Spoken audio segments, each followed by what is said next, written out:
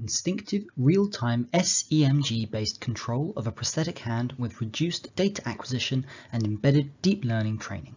Achieving instinctive and multi-grasp control of prosthetic hands typically requires many sensors that can be costly and time-consuming to position, with their signals difficult to classify, which need high computational requirements. In this paper, we show that great results from embedded instinctive multi-grasp control can be achieved with few low-cost sensors, a simple neural network, and a small amount of training data. The presented controller is implemented in an enhanced version of the Olympic prosthetic hand. We have added position and torque sensors to provide accurate control of the hand and a custom PCB housing the control and sensor circuits. We have also designed a new modular wrist with increased electrical connections for the new sensors.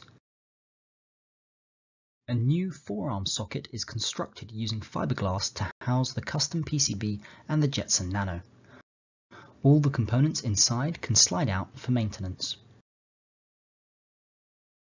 Instead of trying to understand the steady current state of the hand at a signal timestamp, we target a change of state action, i.e. from relaxed to power grasp, a hold action, or vice versa, a release action. Each grasp has its own unique hold action to engage the corresponding grasp, and together they share a single release action to go back to the relaxed state. The CNN classifier looks at a one and a half second window of the continuous EMG signal and tries to recognize the action. Here are the seven targeted grasps and gestures, enabling it to perform a variety of daily tasks. The first experiment is about the data collection and training of the CNN. Five non-disabled users were asked to perform 30 repetitions of each grasp in turn. A 4 second interval before and between the 30 repetitions was used to allow the users to rest and prepare for the next repetition.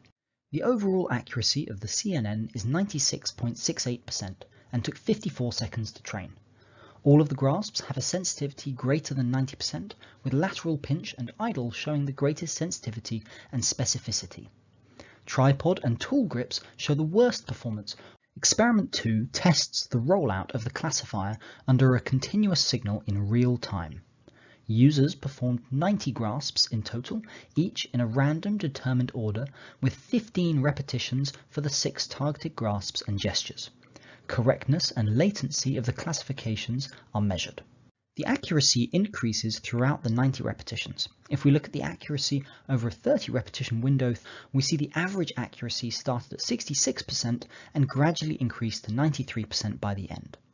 The average latency of a correct grasp is at 1.097 seconds. Here we show a user demonstrating each function of the controller.